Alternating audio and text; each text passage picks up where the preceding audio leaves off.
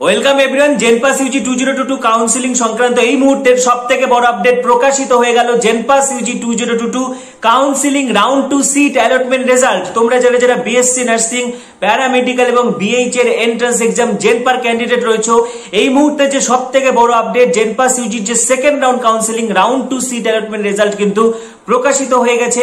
তোমাদের অনেকেরই কিন্তু আপগ্রেডেশন সাকসেসফুল হয়েছে, যা দেখলাম। অনেকে নতুন নতুন কলেজ পেয়েছ, অনেকে আবার ফার্স্ট রাউন্ডে কোনো কলেজ পাওনি, এই রাউন্ডে ফ্রেশ অ্যালটমেন্ট হয়েছে, আবার অনেকে এই রাউন্ডে কোনো কলেজ পাওনি। সকলের জন্য তথ্য রয়েছে। আজকের ভিডিও অত্যন্ত গুরুত্বপূর্ণ হতে চলেছে। পুরো ভিডিও মনোযোগ সহকারে দেখবে, তাহলে তোমাদের সমস্ত প্রশ্নের উত্তর পেয়ে যাবে। যাদের আপগ্রেডেশন সাকসেসফুল হয়েছে, তারা কি করবে? যাদের ফার্স্ট চয়েসে আপগ্রেডেশন হয়েছে, তোমাদেরকে কি করতে হবে? যাদের সেকেন্ড বা পরবর্তী চয়েসে আপগ্রেডেশন হয়েছে, তোমাদেরকে কি করতে হবে? পাশাপাশি যারা একদম ফ্রেশ অ্যালটমেন্ট পেয়েছে, তাদের কি করতে হবে? কি কি ডকুমেন্টস লাগবে? কোর্স ফি কত? মানে ভর্তি সময় কত টাকা লাগবে? পাশাপাশি যারা কোনো অ্যালটমেন্ট পাওনি এবং মক আপ রাউন্ডে কারা পার্টিসিপেট করবে? সমস্ত কিছু তথ্য আজকে ভিডিওতে তুলে ধরবো। তাদেরকে বলছি, যারা যারা আমাদের চ্যানেলে নতুন ভিডিও দেখছ, তাড়াতাড়ি সাবস্ক্রাইব করো। পরবর্তী আপডেটগুলি পাওয়ার জন্য এখনই সাবস্ক্রাইব করো। পাশে থাকা বেল আইকনটা অবশ্যই প্রেস করো এবং ভিডিওটি প্রচুর প্রচুর প্রচুর শেয়ার করো। তো প্রথমেই যারা রেজাল্ট দেখতে পাচ্ছ না, তোমরা লগ ইন করো ওয়েবসাইটে জেনপাস ইউজির অফিসিয়াল ওয়েবসাইটে গিয়ে। তোমরা লগ ইন করো লগ ইন করলে কিন্তু তোমরা রোল নাম্বার পাসওয়ার্ড দিয়ে সাইন ইন করার পরে কিন্তু তোমরা দেখতে পাবে তোমাদের আপগ্রেডেশন সাকসেসফুল হয়েছে কি হয়নি, পাশাপাশি নতুন কোনো অ্যালটমেন্ট পেয়েছ কিনা, বা যদি কোনো সিট নাও পেয়ে থাকো, সবটাই দেখতে পারবে, ঠিক আছে? তো এবারে আমি একে একে পুরো বিষয়গুলো কমপ্লিট করছি। তোমাদের অনেক অনেক অনেক মেসেজ আসছে, অনেক জিজ্ঞাসা আসছে। তো প্রথম কথা, যাদের আপগ্রেডেশন সাকসেসফুল হয়েছে, তারা কি করবে? ভালোভাবে শুনবে, আমি বলছি যাদের আপগ্রেডেশন সাকসেসফুল হয়েছে, অর্থাৎ যারা ফার্স্ট রাউন্ডে কোনো একটা কলেজ পেয়েছিলে ভেরিফিকেশন করে তোমরা ইএস আপগ্রেডেশনটা জমা দিয়ে এসেছিলে। তোমাদের এই রাউন্ডে যাদের আপগ্রেডেশন সাকসেসফুল হয়েছে, যদি ফার্স্ট চয়েসে তোমাদের আপগ্রেডেশন হয়ে থাকে, অর্থাৎ তুমি চব্বিশটা বিএসসি নার্সিং এর কলেজ সাজিয়েছো, ধরে নিচ্ছি, বা প্যারামেডিক্যালের ক্ষেত্রে তুমি এক নম্বর চয়েসে পেয়ে গেছো এই রাউন্ডে তাহলে তোমাকে কিন্তু নতুন সিট অ্যালটমেন্ট লেটার ডাউনলোড করতে হবে। ঠিক আছে, এক্ষেত্রে তোমার এক হাজার টাকা লাগছে না। যেহেতু তুমি আগে, আগের রাউন্ডে এক হাজার টাকা দিয়ে সিট অ্যালটমেন্ট লেটার ডাউনলোড করেছ, তাই এক্ষেত্রে কিন্তু তোমার এক হাজার টাকা লাগবে না। তুমি একদম যে নতুন ফ্রেশ অ্যালটমেন্টটা পেয়েছ, সেখানে তোমাকে সিট অ্যালটমেন্ট লেটারটা ওয়েবসাইট থেকে ডাউনলোড করে নাও, তোমার কোনো টাকা লাগবে না। সেই টাকা নিয়ে তোমার এক নম্বর চয়েসের কলেজে গিয়ে তোমাকে ভেরিফিকেশন করিয়ে অ্যাডমিশন প্রসিডিওর কমপ্লিট করতেই হবে। না হলে কিন্তু তুমি মপাপে পার্টিসিপেট করতে পারবে না। আবারও বলছি, যাদের এক নম্বর চয়েসের কলেজ পেয়েছ আপগ্রেডেশনে অর্থাৎ তুমি এক নম্বর এসএস কেম রেখেছিল বা আর যে করে রেখেছিলে বা যেই কলেজ রেখে থাকো, সেই কলেজে তোমার আপগ্রেডেশন সাকসেসফুল হয়ে গেছে।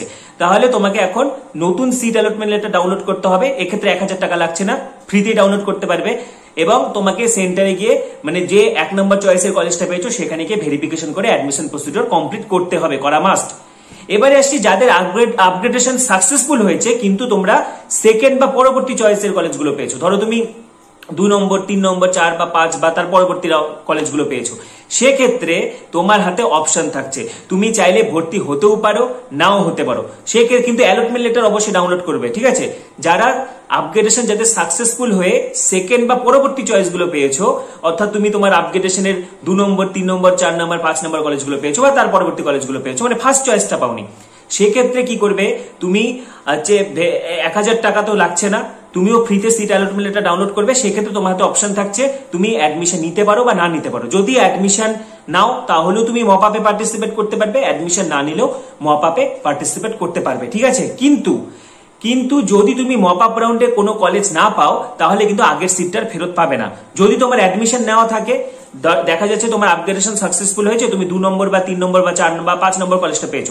সেক্ষেত্রে তুমি ভেরিফিকেশন করিয়ে তুমি হচ্ছে অ্যাডমিশন করে আসলে। সেক্ষেত্রে তুমি যদি মপাইপে পার্টিসিপেট করো, তাহলে তোমার সিটটা থাকবে।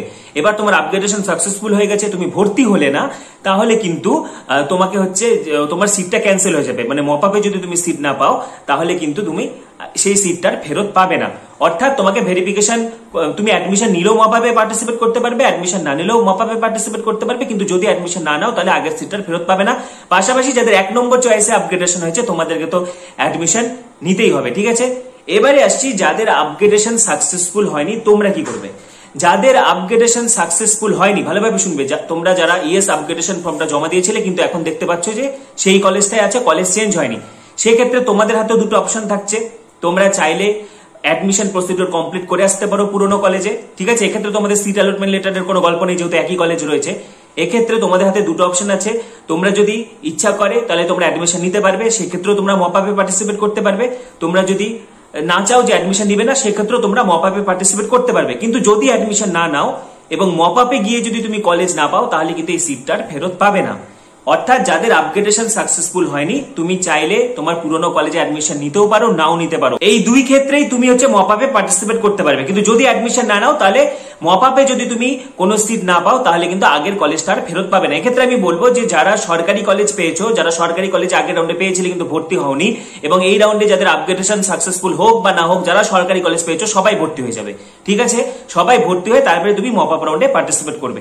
এবারে আসছি যাদের ফ্রেশ অ্যালটমেন্ট এসেছে, তারা কি করবে? যাদের ফ্রেশ অ্যালটমেন্ট এসেছে, তোমাদের সকলকে এক হাজার টাকা পে করে, যেহেতু তোমরা আগের রাউন্ডে কোনো কলেজ পাওনি, তো যাদের ফ্রেশ অ্যালটমেন্ট পেয়েছ, এই রাউন্ডে নতুন কলেজ যারা পেয়েছ, অর্থাৎ আপগ্রেডেশন নয়, যারা একদম ফ্রেশ অ্যালটমেন্ট তোমাদেরকে কি করতে হবে? এক হাজার টাকা দিয়ে সিট অ্যালটমেন্ট লেটারটা ডাউনলোড করতে হবে এবং যাবতীয় ডকুমেন্টস নিয়ে ভেরিফিকেশন করিয়ে আসতে হবে। ভেরিফিকেশন করানো মাস্ট ভেরিফিকেশন না করালে তোমরা কেউই মপ আপ রাউন্ডে পার্টিসিপেট করতে পারবে না।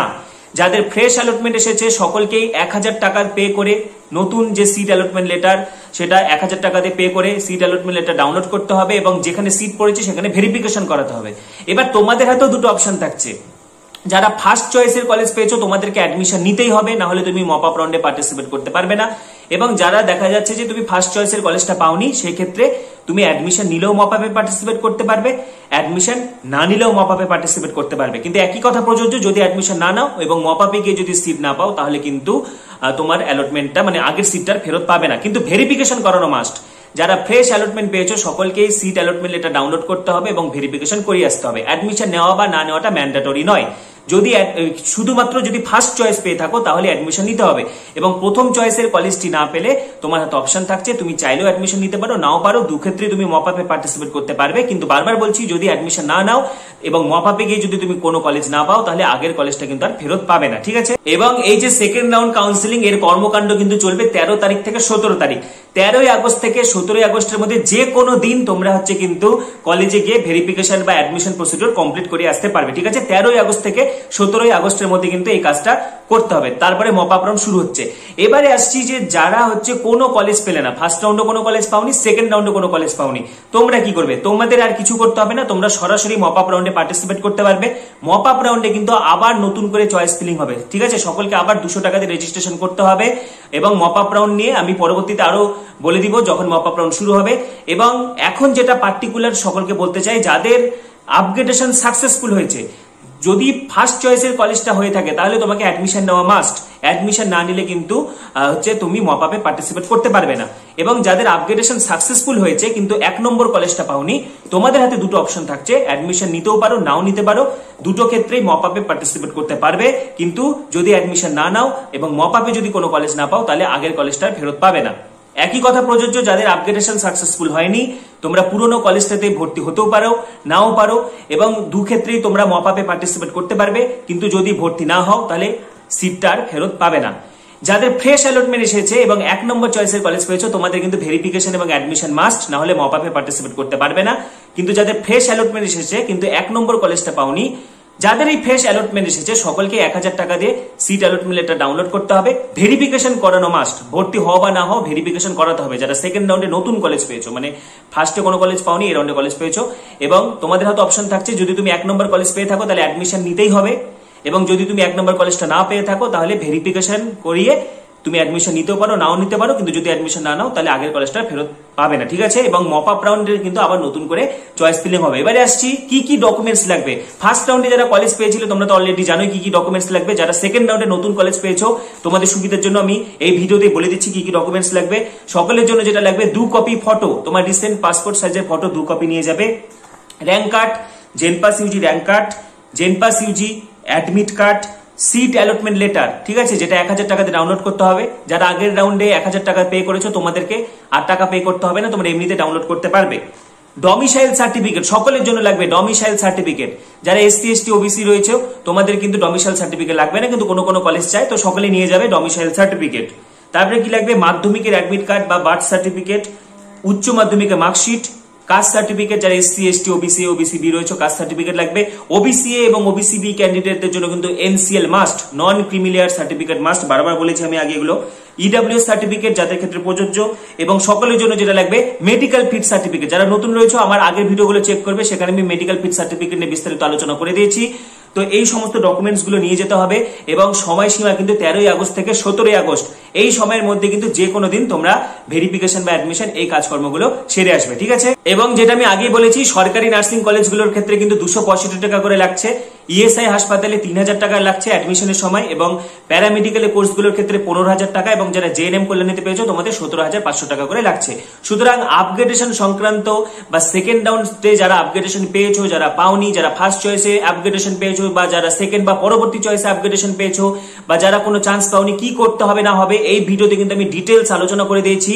এবং আশা করি তোমাদের সমস্ত কনফিউশন দূর হয়ে গেছে এবং তোমাদের কোনো সমস্যা হলে তোমরা কমেন্টে হোয়াটসঅ্যাপে বা টেলিগ্রাম গ্রুপে অবশ্যই জানাবে। পাশাপাশি পরবর্তী আপডেটগুলি পাওয়ার জন্য এখনই সাবস্ক্রাইব করো, পাশে থাকা বেলাইকনটা অবশ্যই প্রেস করো এবং ভিডিওটি প্রচুর প্রচুর প্রচুর শেয়ার করো। সবাইকে অসংখ্য ধন্যবাদ।